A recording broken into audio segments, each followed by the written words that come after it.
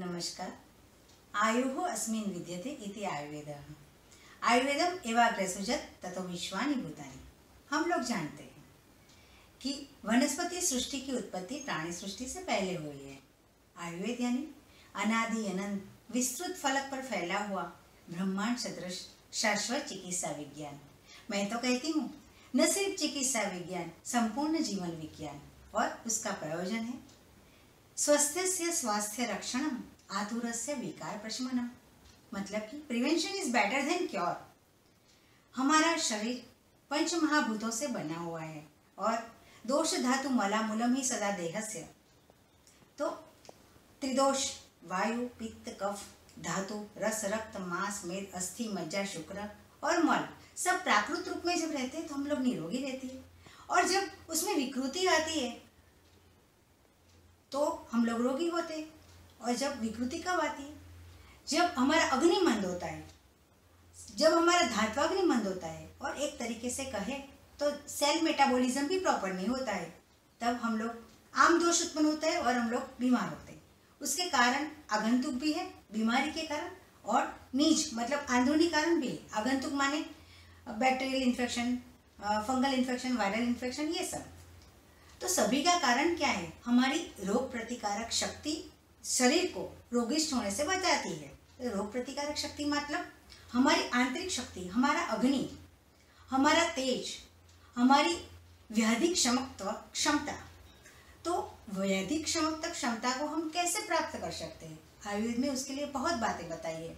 हमारी रोग प्रतिकारक शक्ति सहज होती है, कालकृत होती है और एक्वायर्ड इम्यूनिटी जो प्राप्त की हुई होती है। सहज माने जेनेटिकली कालकृत, जो आदान काल और विसर्ग काल में। और एक्वायर मतलब हमने जो प्राप्त की है हमारे रहन सहन से। आयुर्वेद में सदवृत और स्वस्थवृत का जो बयान किया गया है, कैसे रहना है, कब उठना है, क्या खाना है, क्या नहीं खाना है, दिनचर्या कैसी होनी चाहिए, ऋतुचर्या कैसी होनी चाहिए, सभी छोटी छोटी बातों का अगर हम पालन करें तो हम निरोगी रह सकते हैं। नित्यम हिताहार विहार सेवी। समीक्षकारी विशेष सक्त, दाता सम सत्य पर क्षमावान, नाप्तोपसेवी ज भवत्य रोग। तो इस तरीके से हमें आयुर्वेद के सिद्धांतों का पालन करना चाहिए। और हम सब जानते हैं कि हमारे आयुर्वेद में कितनी वनस्पतियाँ ऐसी है कि हम आसानी से उसका उपयोग प्रतिदिन कर सकते हैं और हमारी व्याधिक क्षमता को बढ़ा सकते हैं। आंवला, हम लोग उसका उपयोग बहुत अच्छी तरह से करते हैं। उसमें विटामिन सी होता है। हल्दी, जो हमारे घर में भी हम हर रोज उसका यूज़ करते हैं। इस तरीके से गिलोई जिसको हम अमृता कहते हैं। तो हमारे जो घर है, इसमें रसोई घर में भी कितनी चीज़ें ऐसी है कि प्रतिदिन हम उसका उपयोग करें तो ऐसे समय में भी हम हमारी इम्यूनिटी को डेवलप कर सकते हैं। जैसे हल्दी है, अजवाइन है, तज है, लविंग है, लौंग जिसको बोलते हैं, गुजराती में लविंग बोलते हैं। और हम लोग हमारे घर के आसपास गमले में, हमारे टेरेस पर कितनी वनस्पतियों को हम उगा सकते हैं? जैसे गीलो है, हरिद्रा है, तुलसी है पारिजातक है, पुनर्नवा है, ये सब वनस्पति हम उगा के उसका हर रोज यूज़ करें तो हम निरोगी अवश्य रह सकते हैं। हमारी रोग प्रतिकारक शक्ति बढ़ सकती है।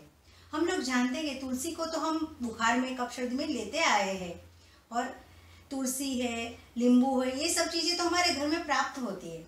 इस वक्त हम लोग हल्दी के कुल्ले करें, जिसको हमारे आयुष शास्त्र में कवल गंडूश कहा है, उसका हम उपयोग कर सकते हैं।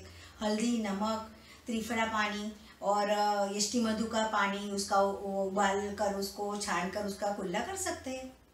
नस्य ले सकते हैं, गाय के घी को हम नस्य के रूप में प्रयोग कर सकते हैं। अणु तेल, उसका भी उपयोग कर सकते हैं, षडबिंदु तेल का भी उपयोग कर सकते हैं।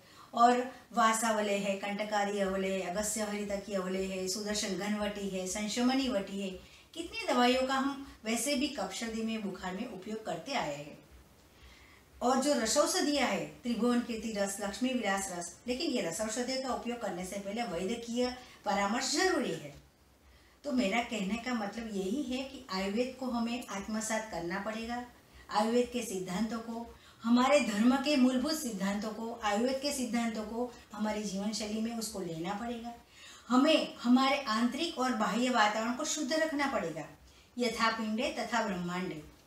प्रकृति का पर्यावरण का रक्षण करना पड़ेगा और आयुर्वेद को अपना के, हमारी जीवन शैली को उच्चतम बना के, हम हमारी व्याधि प्रतिकारक शक्ति को बढ़ाकर, ऐसे समय में इम्यूनिटी प्राप्त करके निरोगी रह सकते हैं और आगंतुक किसी अन्य व्याधि से भी मुक्त रह सकते हैं। तो आओ, हमारे जीवन शैली में आयुर्वेद को अपनाएँ।